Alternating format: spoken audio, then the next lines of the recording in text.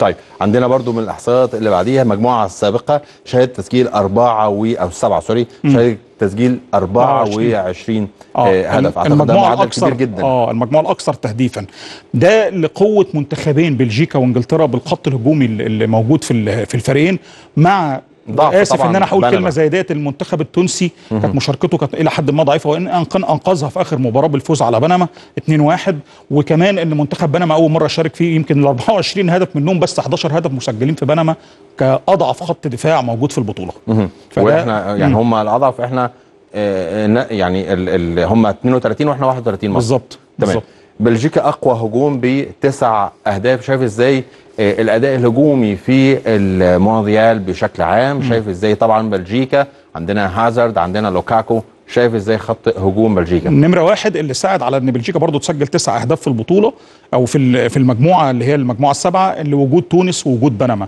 نمرة اتنين خط هجوم آه، المنتخب البلجيكي قوي جدا. هازارد لوكاكو ميرتنز لاعب نادي نابولي وكمان آه، في خط الوسط كراسكو فيتسل آه، دي بروين موجود كمان معاهم آه، مونيه فخط وسط بلجيكا وخط الهجوم بتاعهم قوي جدا ده اللي يساعدهم في تسجيل الأهداف دي مع وجود بنما وتونس في المجموعة. تتوقع الأداء الهجومي لبلجيكا في الأدوار الأقصائية هيكون شكله إزاي؟ آه، أنا أنا أنا حاسس كده إن إن بلجيكا ممكن توصل لأدوار متقدمة لأن بلجيكا بتقدم مستويات جيدة ويمكن ده بسبب الخطة طويلة الأمد اللي بدأوها سنة 2002 خلقت جيل عظيم يمكن هم ممكن يكرروا الإنجاز اللي عملته بلجيكا قبل كده في كأس العالم في المكسيك 1986 لما تحصلوا على المركز الرابع وممكن يزعبوا لابعد من كده. كمان. طيب عندنا كمان آه، رقم مهم جدا تسع منتخبات تشارك لقب أضعف هجوم بهدفين.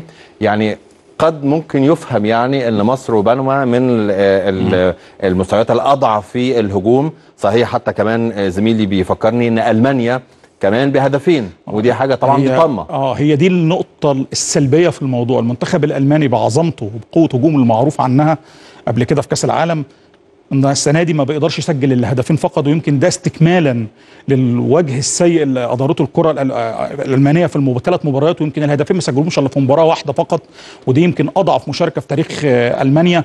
ما حصلتش قبل كده إلا في كأس العالم 1938 المقامة في فرنسا لما خلاص طلعوا من الدور الأول بعد التعادل مع سويسرا 1-1 ومقامة مباراة مقامة معادة بعد خمسة أيام وخسروا 4 2 في مفاجأة كبيرة جدا من سويسرا اللي كان بيقودها واحد من أعظم المدربين في تاريخ الكور الطريقة الدفاعية اللي هو كارل رابان مخترع طريقة الكاتيناتشو.